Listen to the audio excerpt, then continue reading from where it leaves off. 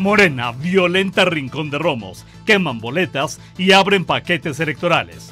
Con el temor de que queden al descubierto las triquiñuelas que hicieron en la elección de la alcaldía de Rincón de Romos, integrantes del Movimiento de Regeneración Nacional, Morena, violentaron ayer las oficinas del Consejo Distrital 1 con sede en Rincón de Romos.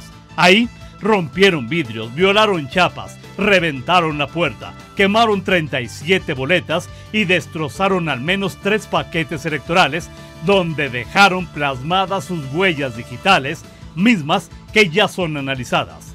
Por si fuera poco, y dado que en Morena no son nada inteligentes, se equivocaron de sitio, pues ahí se resguardaban los paquetes de la elección a diputado local por el Distrito 1. Cuando se dieron cuenta de su error y antes de ser detenidos, se dirigieron al edificio del CISAE, también en Rincón, donde sí se encuentran los paquetes de la elección alcalde.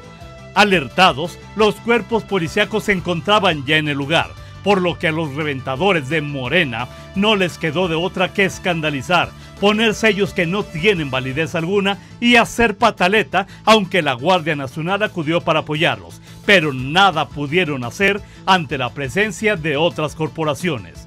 Lo que Morena pretende evitar es el conteo distrital que hoy debe llevarse a cabo y donde se solicitará la apertura de urnas ante las claras inconsistencias que han sido encontradas y que podrían cambiar el resultado a favor de Héctor Castorena. Queda claro, para Morena, cuando gana hay democracia y cuando los aplastan, gritan, violentan y tratan de tapar sus cochinadas.